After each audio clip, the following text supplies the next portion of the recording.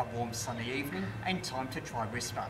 It's about half an hour before sunset and with this three element Yagi on two metres, my signal should be heard far and wide.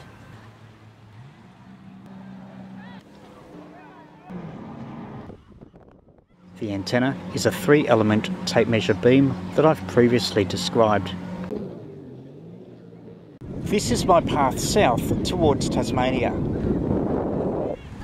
This is the path west towards South Australia. And this is the path north towards central Victoria.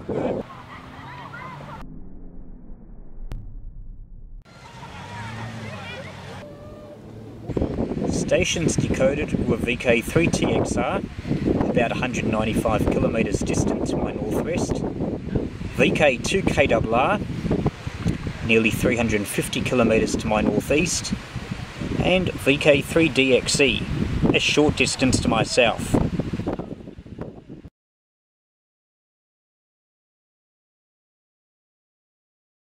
If you want to get more from amateur radio, check out my ebooks, hand carried QRP antennas, minimum QRP, 99 things you can do with amateur radio, and getting back into amateur radio. They're available in electronic form for around $5 US. Just visit my website vk3ye.com or search their titles on Amazon.